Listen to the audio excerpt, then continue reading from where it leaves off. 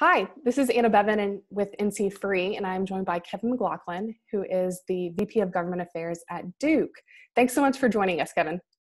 Oh, thank you. Thanks to you, Anna Bevan, and to NC Free for for hosting us. It's uh, a great opportunity to talk about Duke Energy. Now, I'm going to confess, I'm the new guy. Uh, I've only been on the ground a couple of months now, and uh, as you and I talked a little bit before, what an interesting few months this has been. Yeah, absolutely. I think this means most of your time in the role has been um, in a global pandemic. I think that's a, a world record of some sort. Yeah. I have learned a lot. um, well, I'm going to dive into the questions. Um, so we're we're living a, a, completely new normal in our daily lives. Um, those of us that are still fortunate to have jobs are blending work and life together where it seems to have no balance. Uh, how has Duke come alongside your employees in this time? Well, I think it is a great question. I think it's important uh, to recognize since Duke Energy was deemed an essential business by Governor Cooper in one of his initial executive orders, uh, we really have three primary responsibilities. One, we have to keep the lights on. Mm-hmm. And so many of my Duke Energy colleagues continue to do like they've always done. Uh, they're working the lines, they're working in the control room, they're helping serve our customers. Uh, and many of those customers are those we're very flattered and honored to serve at hospitals, public health agencies, government operations centers. So mm-hmm. that work continues. And then the other two uh, focus areas have been to protect our employees, PPE, mm-hmm. staggered shifts, staggered entry, temperature checks, and then third, to care for our employees. Mm-hmm. And very early on, just probably a week after uh, COVID 19 really hit, uh, Duke Energy leadership stood up and began to offer financial assistance to our employees, especially think of two income families and if one of they may one of them may still be working for Duke, but the other may be at a restaurant or another facility or, or business. So financial assistance, dependent care services to help those whose whose child care may be at risk because of the impact of COVID-19 to find give them time to find new child care if they need it. And then third, emotional support. Uh, our EAP program has really stood up to make sure that uh, we're our employees know that we're here for them and want to help them through these challenging times. Mm-hmm. And what is EAP? Employee assistance programs. Okay. Okay. Awesome. Great. Um, that's that's fabulous that you are are really approaching um, employee or as an employer you're approaching all aspects of of the good that that Duke does in the lives of not only citizens but also um, of your employees. Um, uh, so one of my favorite quotes, and I actually think it's um, very, very timely, is from David Rockefeller. And he says, if necessity is the mother of invention, discontent is the father of progress. And so, in that spirit, how has Duke changed or made adjustments during this time? Uh, in addition to me learning about Microsoft Teams and Zoom. Right. Yeah. Just outside of that.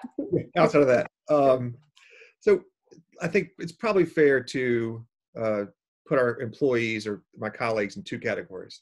Mm-hmm. Those of us like me who are working from home, and it, it is a it's been a monumental feat for our IT team.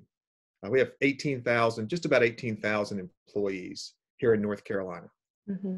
A great majority of them began working from home over a weekend, and our IT IT team was able to quickly shift, do what needed to be done, uh, so we didn't lose a beat in our main priority, which is taking mm-hmm. care of our customers. Mm-hmm. And it, it's impressive to watch. And then there's the other category of my colleagues, and those are those who are in the field. Mm-hmm.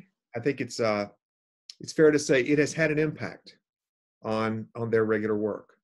Uh, probably a good story to share was the Easter weekend, this past Easter. Mm-hmm. There was pretty severe and strong thunderstorms that came through the state that's 600,000 customers.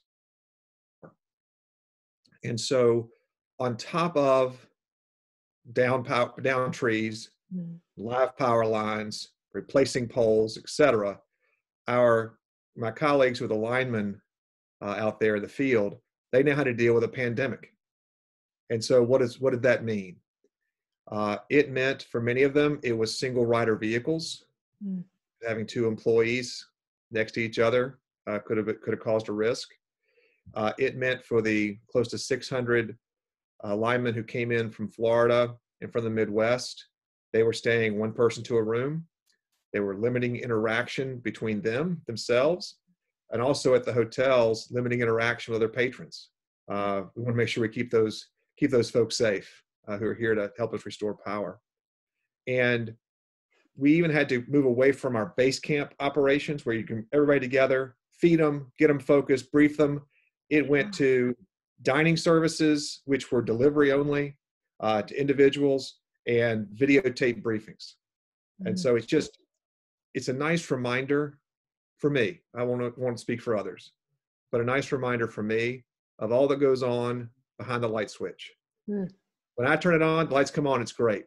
And then behind that is all of this work that's done on a regular basis, and then add the pandemic on top of it. Uh, it's been very impressive what folks have been able to do. Yeah, yeah, absolutely. Uh, so off of off of that, um, Duke has been really active in in direct COVID relief, COVID nineteen relief. Um, will you share a little bit about that? Thanks. We, would love to. Um, you know, we kind of just joked about being here at home and and working from home mm-hmm. compared to the folks who are out in the field. Uh, you know, for me, it has been an inconvenience mm. to work out of the home. My kids do their classwork downstairs. I log into the computer. Uh, my wife's continuing to go back and forth to, to, her work at Wake Med, but for us, it's an inconvenience. Um, my, my beard's gotten longer, my, my hair's gotten bigger. Uh, that's about it. Um, but for lots of folks who lost jobs, mm. who are worried about their health and safety, these are very challenging, challenging times. And I am so proud of Duke Energy and of our leadership from the CEO on down. Mm. Uh, they stood up. And let me just kind of share a few things with you. Please. Back March 13th, it's a Friday, that's when Duke Energy announced that it was going to suspend disconnections for non payment. Mm. So, for folks who couldn't afford it, their light bills were going to stay on. The power for their oxygen tanks will stay on. One less thing for them to have to worry about.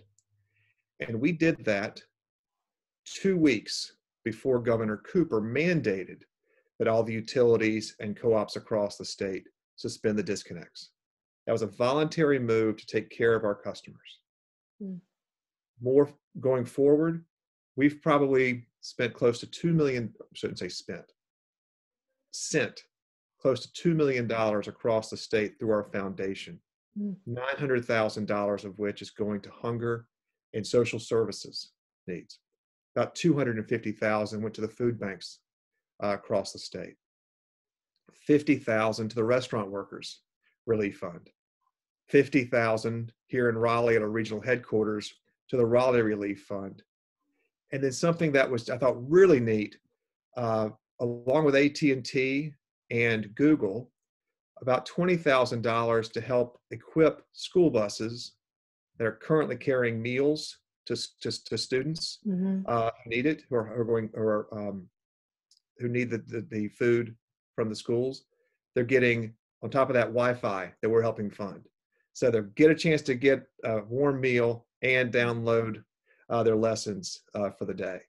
So it's a great way of stepping up. And if I if I can say it is, at least it has been for me, mm-hmm. an opportunity for North Carolina's policymakers to see Duke Energy the way I see it.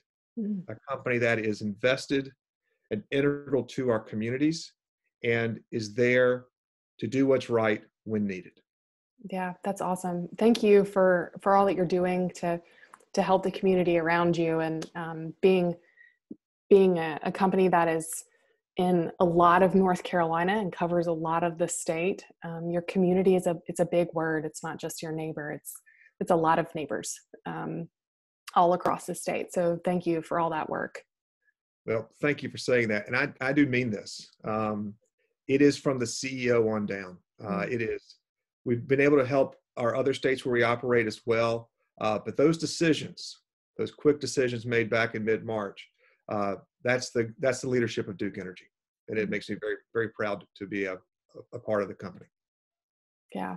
Well, there's so much that's just really unknown about COVID 19, even now. Um, we're, we're recording this in um, early, early to mid May, and there's mm-hmm. just, there's a lot we still don't know.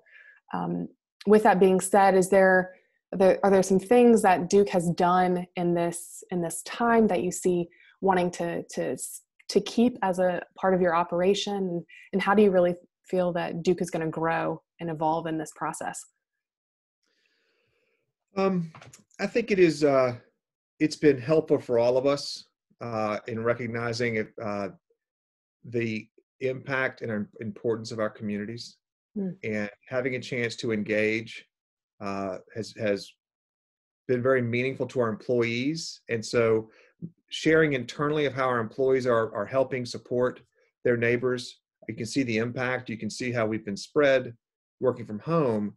You feel spread apart and so, how do we bring our bring our teams together uh, to unify them? And one thing that we've really seen is the impact we've had in our community, and then helping our customers.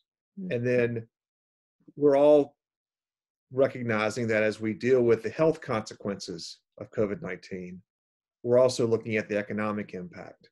Mm-hmm. And so, our economic development teams, and we have a group solely focused on economic development across our seven states, and importantly for us, you and I here in North Carolina, uh, those teams are ready and are focused on making sure that when the time is right, we are ready to recruit top tier industries to North Carolina to help out our economy. We're focused on on being a partner for growth. Mm. Awesome, awesome. Um, before we close out this interview, is there anything that you would like to share with our membership um, just about either you and how long your your beard has taken to to get to where it is, um, or uh, or just anything else about Duke. so in all confess, I had a beard beforehand. It's just gotten longer, so I should I should say that. Oh man! Uh, but it uh, I probably need to clean up when I do my when we start really uh, lobbying uh, officially uh, for the work it is a Zoom beard is a little different than uh, than a real life beard. I can probably see that right. as a reality. Yeah. That's right. Um, no, what I love is is the fact that NC Free is doing this. I think it is it's a great opportunity for for your members uh, to share what we're doing, for you to add value across the state. You already do in so many ways, and to help educate our our policymakers on on what we do, what we stand for, what we believe in, uh, is very, very beneficial to us, and we really appreciate you doing this.